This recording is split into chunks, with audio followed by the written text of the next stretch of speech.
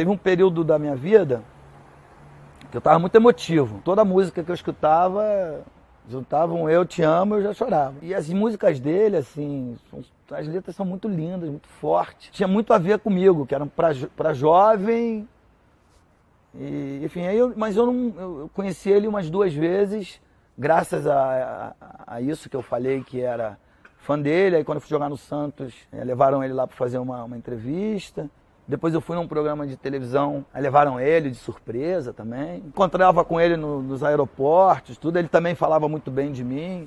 Eu não tinha uma, uma, uma proximidade, mas mais pelas letras e, e, porque ele cantava com a alma, com o coração, assim, do jeito que eu também achava que devia praticar o meu, meu esporte. Isso aí, não tem uma explicação óbvia, mas era um cara que eu admirava, mas nem sabia, assim, dos problemas que ele tinha também, da, dos, da depressão, uso excessivo de álcool, drogas, essas coisas aí que, que a gente, do ídolo, a gente só vê as coisas boas, né?